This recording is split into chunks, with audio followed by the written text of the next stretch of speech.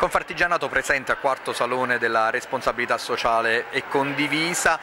Si toccano due temi fondamentali, inclusione e coesione sociale. Perché? Ma eh, la Confartigianato eh, negli ultimi anni ha dato diverse volte prova di eh, avere orecchie e cuore per, per, ascoltare quelli che sono i bisogni eh, emergenti e latenti eh, del, del, sistema, della società in cui è inserita. E eh, non a caso la collaborazione nata ehm, dalla Confartigianato, dal rapporto insomma, tra la Confartigianato e l'associazione di promozione sociale che pure rappresento, è venuta fuori proprio da questa particolare sensibilità per il gruppo gruppo di imprese ehm, della Confartigianato eh, per le tematiche relative appunto all'inclusione sociale.